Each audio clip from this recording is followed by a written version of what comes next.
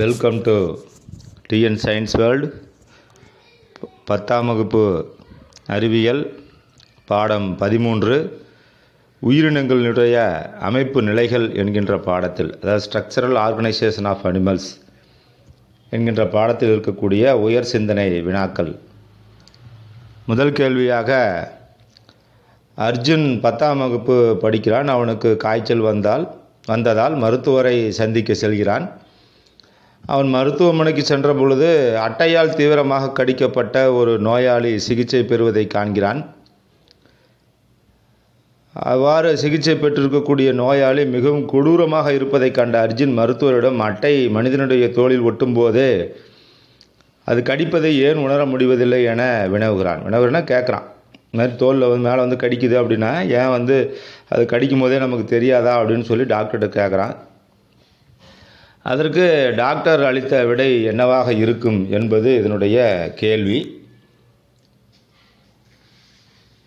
ஆங்கிலத்தில் பொதுவாக இந்த கேள்விக்குரிய இந்த இந்த கேள்வியை வந்து பார்த்திங்கன்னா எவ்வாறு சொல்கிறாங்க அப்படின்னாச்சுன்னா முதல்ல வந்து தமிழில் டாக்டர் என்ன சொன்னார் அப்படின்ற விஷயத்தை நாம் வந்து சொல்லிடுவோம் டாக்டர் வந்து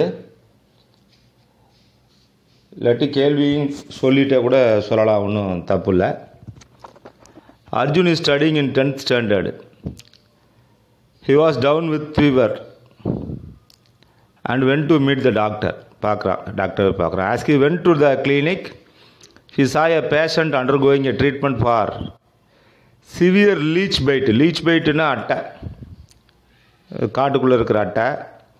கால்நடை அட்டைன்னு சொல்லி பேர் அதுக்கு பேர் பீயிங் க்யூரியஸ் ரொம்ப பயங்கரமாக பாதிக்கப்பட்டிருக்கு அட்டையால் கடித்து Arjun asked to doctor why leech bite was not felt and soon as it attaches to the skin நம்ம உடம்புக்குள்ளே வந்து அட்டை கடிக்கும் போது அவங்க உணர மாட்டாங்களா? ஏன் டாக்டர் இந்த மாதிரி இருக்காங்க? நம்ம தோலில் வரும்போது அட்டை கடிக்கும் போது அதை நம்மளால் வந்து உணர முடியாதா? ஏன் என்னன்னு கேட்குறான் why to have been the reply give the doctor give by given by the doctor doctor அதுக்கு அளித்த பதில் என்ன சொல்கிறார் அப்படின்னா அட்டையினுள் வாயு அட்டையினுடைய வாயுனுள் காணப்படும் மூன்று தாடைகள் மனிதனுடைய உடலிலே வலியில்லாத ஓய்வடிவ காயத்தை உண்டாக்கும். அட்டையினுடைய வாயில் இருக்கக்கூடிய மூன்று தாடைகள் மூணு தாடை இருக்குது அட்டைக்கு. மனிதனுடைய உடலிலே வலியில்லாத ஓய்வடிவ காயத்தை உருவாக்கும். Leeches inject an anesthetic substances that prevents the host from the feelings their bite உடம்புக்குள்ளே போகும்போது ஒரு வழி இல்லாத மாதிரி ஒரு அனக்சீசியா சொல்கிறாங்க இல்லையா? அந்த மாதிரி ஒரு மயக்க மருந்து மாதிரி ஒரு இதை வந்து உடம்புக்குள்ளே கொடுத்துருது. அதனால் நமக்கு அது தெரியாது. Hence a leech bite could not be felt உடனே என்ன அந்த கடிக்கிறது வந்து நம்ம கடிக்கிறது தெரியாது. As soon as it's attaches to skin நம்ம தோலில் ஒட்டியிருக்குன்னு தெரியாது கடிக்கிறதுன்னு தெரியாது. மேலும் நோயாளினுடைய உடலிலே ஒரு மயக்கப் பொருளை செலுத்துவதன் மூலம் அட்டை மனிதனுடைய தோல் ஒட்டுவதையோ அது கடிப்பதையோ நோயாளியால் உணர முடிவதில்லை. இதனால தான் வந்து அட்டை கடிச்சேன்னா அவங்களுக்கு தெரியறதில்ல அப்படின்ற விஷயத்த டாக்டர் வந்து தெளிவாக சொல்லி முடிச்சிடுறார். இதனுடைய இரண்டாவது கேள்வி சைலேஷ் தன் வீட்டில் செல்லப்பிராணியை வளர்த்து வருகிறான். அவன் வீட்டில் சில முயல்களும் உள்ளன. ஒரு நாள் முயலுக்கு உணவளிக்கும் பொழுது அவற்றின் பற்கள் வித்தியாசமாக இருப்பதை கவனிக்கின்றான்.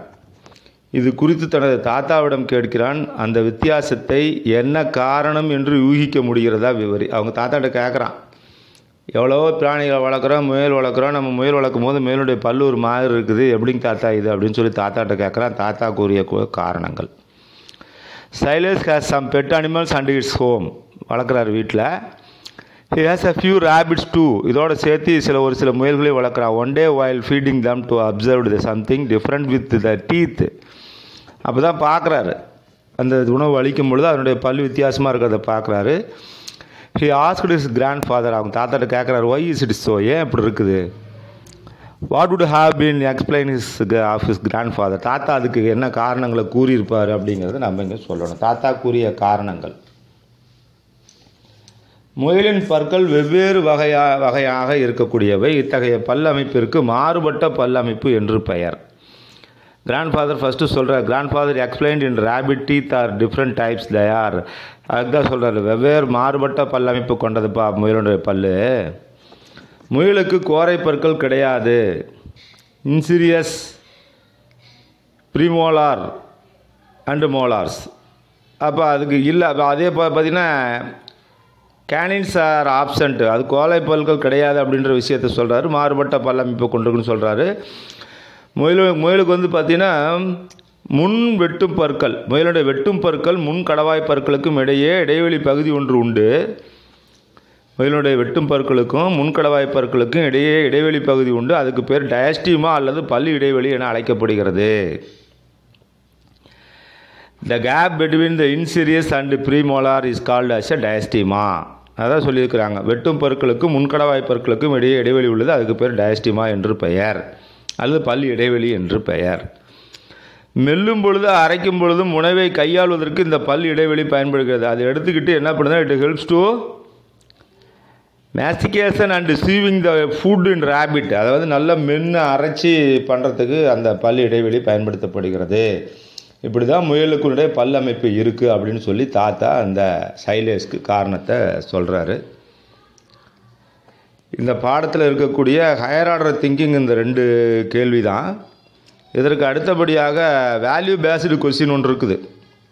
வேல்யூ பேஸ்டுக்குன்னு மதிப்பு சார் வினாக்கள் அப்படின்னு சொல்லிட்டு ஒரு ரெண்டு கொஸ்டின் இருக்குது அந்த கொஸ்டினை பற்றி நாம் இப்போ பார்க்க போகிறோம்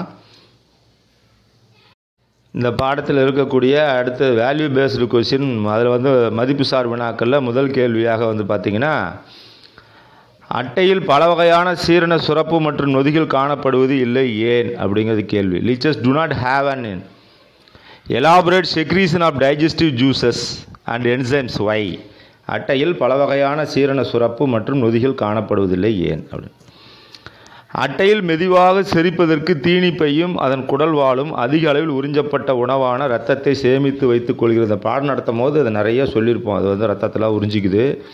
அதை வச்சுக்கிட்டு எத்தனை நாள் வாழுது அப்படிங்கிறத நம்ம சொல்லியிருப்போம். இது அட்டைக்கு பல மாதங்களுக்கு ஊட்டமளிக்கிறது ஒரு முறை உறிஞ்சிருச்சுன்னா பல மாதங்களுக்கு வந்து தே தீனியே தேவையில்லாதுக்கு அதை வச்சுக்கிட்டே இருந்துடும் இதன் காரணமாக சீனு சீரண நீரோ நொதிகளோ அதிக அளவில் சுரக்க வேண்டிய தேவையில்லை. அதற்கு தேவையான உணவு ஒரு முறை வந்து உடம்புல இருந்து பிளட்டை வந்து எடுத்துருச்சுனாவே அதை வச்சே வந்து பல மாதங்களுக்கு வந்து சாப்பிடாம அப்படியே இருக்கும். The blood sucked by the leeches is stored in the crop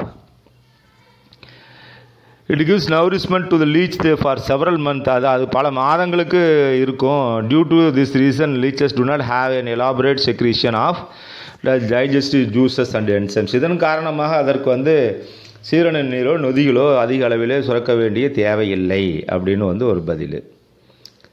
அதற்கு அடுத்தபடியாக முயலினுடைய உணவு மண்டலம் தாவர உண்ணி வகையான ஊட்டத்திற்கு ஏற்றாற்போல எவ்வாறு அமைந்துள்ளது? முயலினுடைய உணவு மண்டலம் தாவர உண்ணி வகையான ஊட்டத்திற்கு ஏற்றாற்போல எவ்வாறு அமைந்துள்ளது? How the digestive system of the rabbit situated for herbivorous ஹெர்பிவோரஸ்னால் தாவர உண்ணி. மோட் ஆஃப் ஃபீடிங் எப்படி இது ஏற்றார் போல் எப்படி அமைஞ்சிருக்குன்னா முயலுக்கு வந்து கோரைப்பல் கிடையாது அது ஏற்கனவே சொல்லியிருக்கு ஆப்சன்ஸ் ஆஃப் கேனினஸ் அப்படின்னு சொல்லியாச்சு.